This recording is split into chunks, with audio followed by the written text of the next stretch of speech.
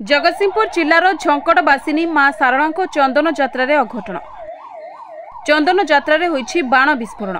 ବାଣ ଫୁଟିବା ସମୟରେ ନିଆଁ ଆସି ବାଣ ବସ୍ତା ଉପରେ ପଡ଼ିଥିଲା ଯାହାଫଳରେ ବାଣ ବିସ୍ଫୋରଣ ହୋଇଥିଲା। ବିସ୍ଫୋରଣରେ ପୋଲିସଙ୍କ ସମେତ ଆଠରୁ ଅଧିକ ଆହତ ହୋଇଛନ୍ତି। ସେମାନଙ୍କୁ ତୁରନ୍ତ ମଣିଜଙ୍ଗା ଗୋଷ୍ଠୀ ସ୍ୱାସ୍ଥ୍ୟକେନ୍ଦ୍ରକୁ ନିଆଯାଇଥିଲା।